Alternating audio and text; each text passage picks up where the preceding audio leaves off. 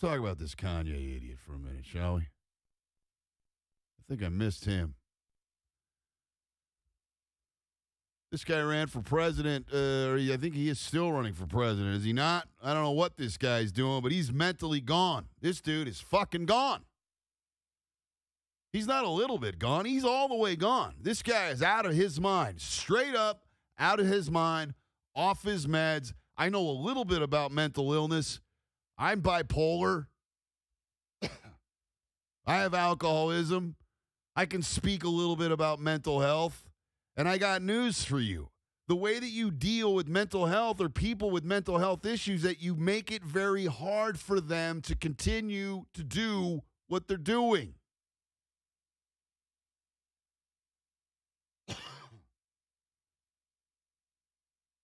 Everybody in Kanye's life needs to tell him to not call him until he decides he wants to get help.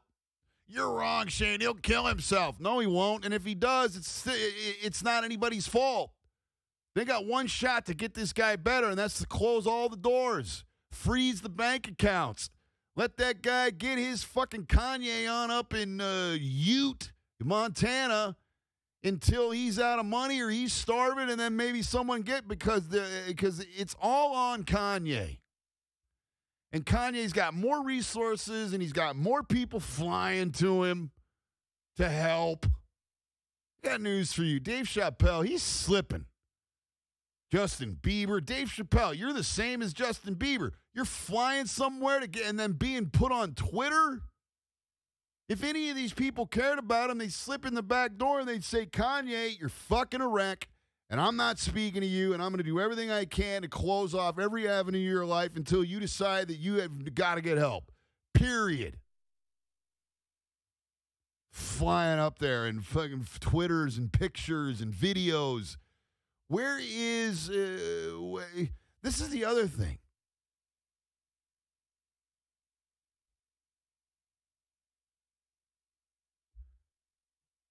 Kanye might have wrote some songs.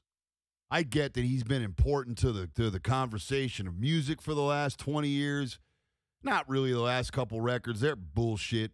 But the rest of them records are real. They're legit. There's something that's adding to the conversation. That guy is going down in the history books as somebody who was is, was important to the genre of music.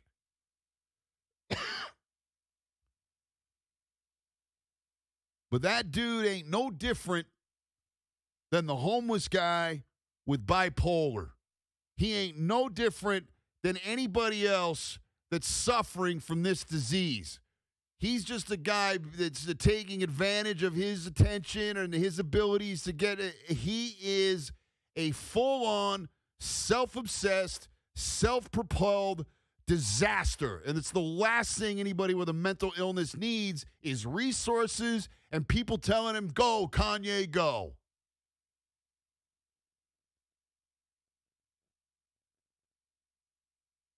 I can empathize with somebody with a mental illness, but I cannot empathize with someone who knows they have a mental illness, who knows they're hurting the people around them, and decide they don't want help. That I can't empathize with because I was him. Because I knew I was fucked up and I knew I was an alcoholic and I knew I was dying and I was like, nope, don't want any help. And when I didn't, when I was there, I was destroying everybody around me. Period.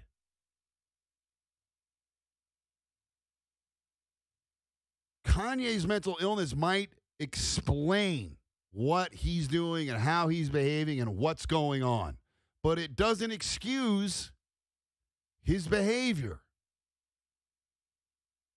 And then you get the dark you get the dark Kardashian element in there, right? They're all looking around going, How do we protect the brand? This guy's a maniac. And Kim, you can't divorce him because if you divorce him, he's going to go ape shit and tell everybody a bunch of shit we don't want to know. And uh, this is looking terrible because he's talking about fucking uh, Harriet Tubman not being a civil rights leader Eh, eh, and they're worried about their own brand. So what do they do? They put out a statement that talks about them and about how they aren't responsible for Kanye. If Courtney Abbiati was mentally ill and people gave a shit, the last thing I would be doing is putting out a statement about how it's not my fault. I wouldn't be putting out any statements. The brand. So much to lose. Too much on the line. So many ways we could get fucked by Kanye. There's some pictures I saw today, some pictures of her crying in the car. That was a setup. 100%. 1000% a setup. There's you can't you can't if I had to gamble right now, they had someone there to get those pictures of her crying because it just continues to cement the idea that Kim is a victim. That Kim is trying and there's nothing she can do and it's sad and it's crying. Those pi- and believe me, this happens all the fucking time. All the time.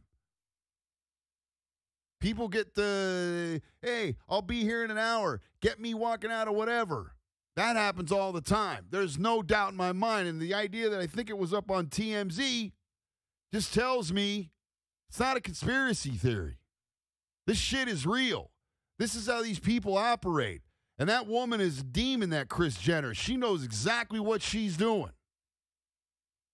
That whole thing is a mess. I was worried about him for a second running for president. I was like, is this guy crazy? Is he serious? Are you joking? And then he, he has one campaign event and he, hey, I'm the craziest motherfucker on earth, is basically what he said. And he's not going to matter. And he's trying to get himself on ballots. And at the end of the day, as long as he's not fucking with the union, with the potential of us losing our democracy, I don't much care what happens to Kanye. I think it's a drag. I think it's sad. And I think the whole thing is a vortex of self with everybody involved and everybody looking out for their own shit and their own needs and their own wants. And that guy potentially at any moment could be dead. And this is not being handled well by anybody that loves him.